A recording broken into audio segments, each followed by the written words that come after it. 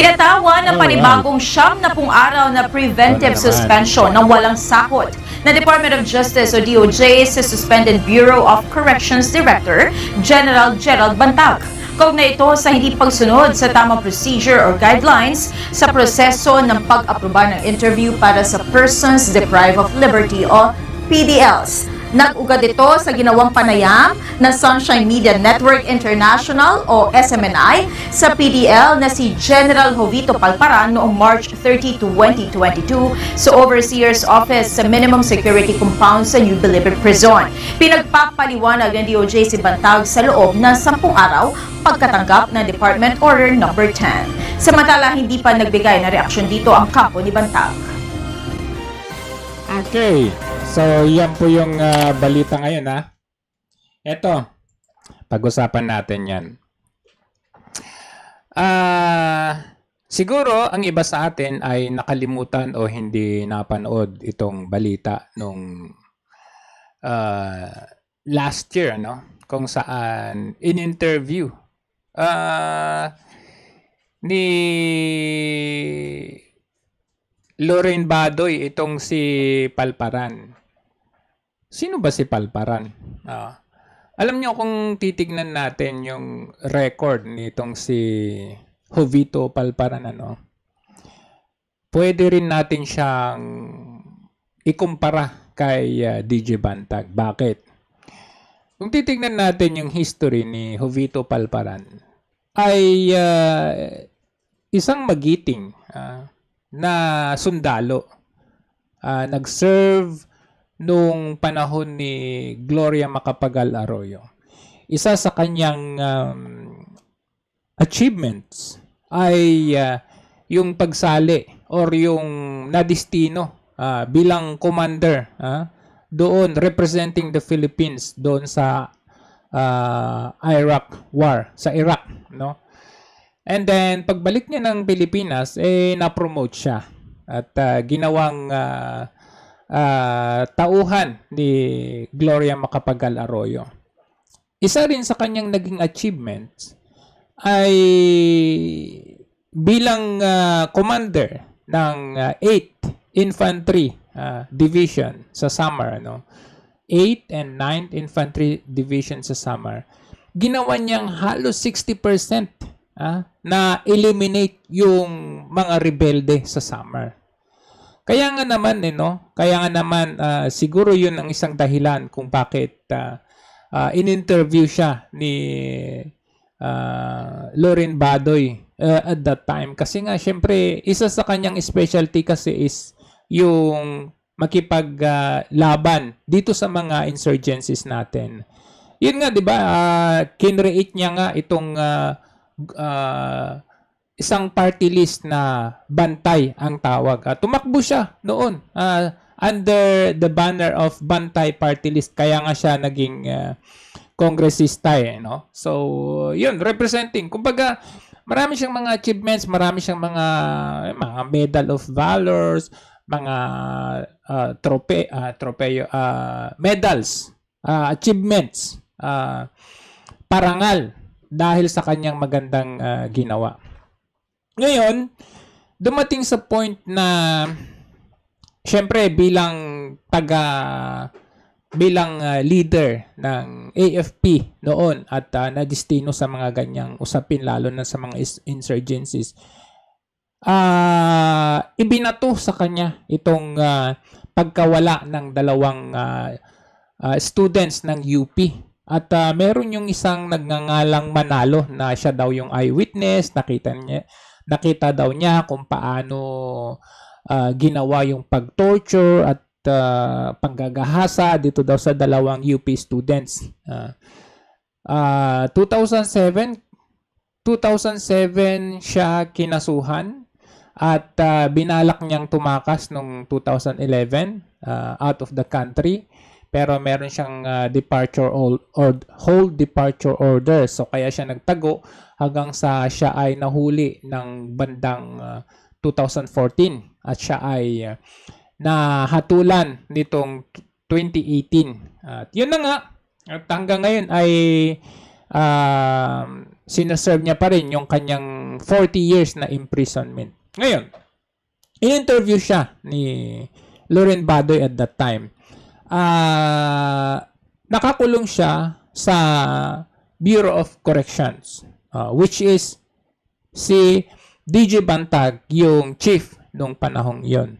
Ngayon, ang ibinabato, uh, pero yung DOJ nung time yun is si Minardo Guevara. Ngayon, ang ibinabato kasi kay uh, DJ Bantag, actually hindi si DJ Bantag ang inaano nun eh, yung Secretary of Justice, si Minardo Guevara. Kaya lang, syempre, at that time, syempre, panahon pa ng PRRD, so parang masasabi natin na medyo,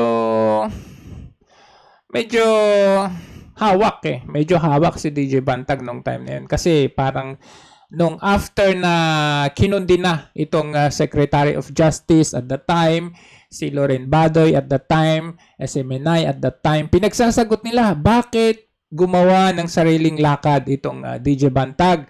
Bakit daw pinayagan na magpa-interview yung uh, nakapiit uh, sa Bilibid at that time. So, ang sagot naman ni Minardo Guevara ay uh, uh, oo nga, uh, walang abiso sa amin kaya pinasasagot namin si DJ Bantag ng uh, uh, ano yung kanyang sagot dito within 10 days. Ngayon, after 10 days, sumagot naman si DJ Bantag. Uh, sumagot naman siya, kaya lang hindi na-disclose. Hindi na media or hindi natin alam kung ano yung sagot. Kasi ang sabi ni ni Guevara at that time ay uh, uh, baga eh, ini-exercise nila yung hindi pa nila pwedeng ilabas kung ano yung sagot. Until now, wala tayong balita, wala tayong update kung ano yung sagot doon. And in fact, kung titignan natin ah, ito yung sagot ni uh, sinagot naman ito ni Loren Badoy at ito yung uh, inonote ko lang ah, yung kanyang sagot ah, sa iba kasi mahaba to pero namili lang talaga ako ng ano which is ah uh, ayan wait lang ayusin ko lang ah hmm. ayan Nakayan ko lang. Ewan ko kung nababasa ninyo kasi medyo maliit. So, ito yung sagot ni uh, Lorin Badoy. Ano? Ito yung sagot niya. Kasi syempre, walang na-disclose na sagot from DJ Bantag after nagbigay ng uh, show cost order si DOJ, SOJ at that time, Minardo Guevara. Pero ito yung tamang sagot din dyan. Ah, ayon kay Loren Badoy, no? So, uh, ni-note ni Loren Badoy dito yung Republic Act number 10575 or yung Bureau of Corrections Act of 2013. Uh, sabi dito, polisiya ng state uh, to promote the general welfare and safeguard the basic rights of every prisoner incarcerated in our national penitentiary. To this end, the Bucor is charged with safekeeping of national inmates. Okay, continue natin ha.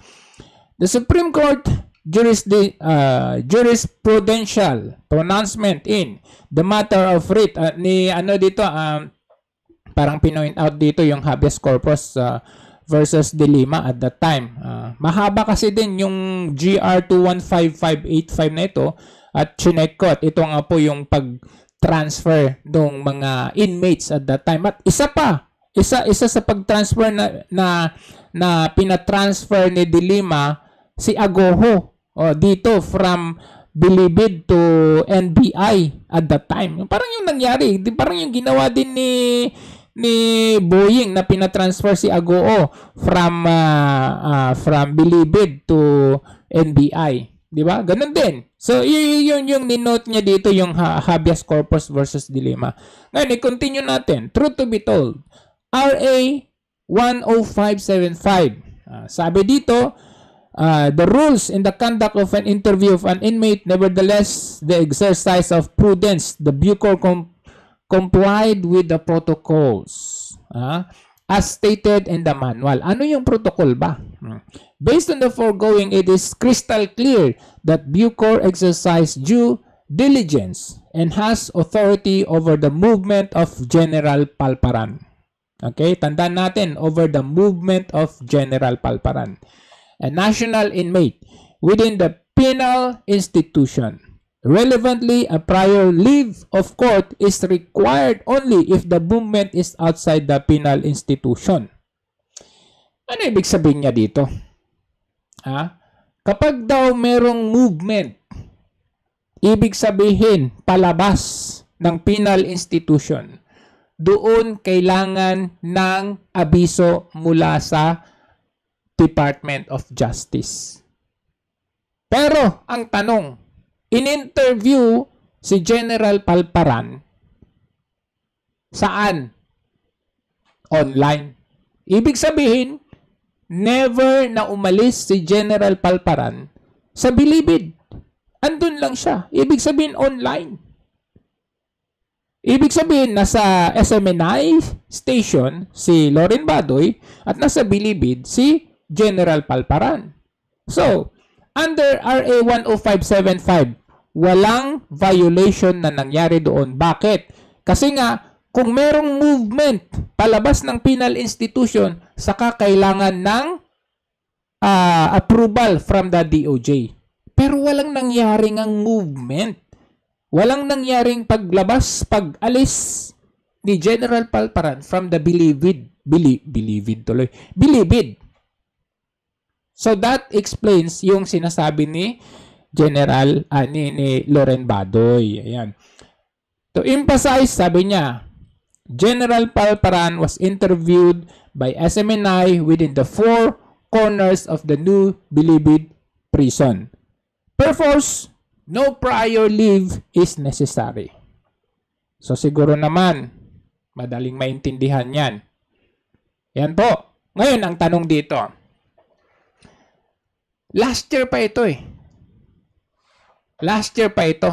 At walang update kung ano yung nangyari doon. Kasi, ayon ha, sa update noong uh, last year, kasi May 30 yung binigay na uh, abiso or show cause order ni General uh, ni, ni, ni Minardo Guevara.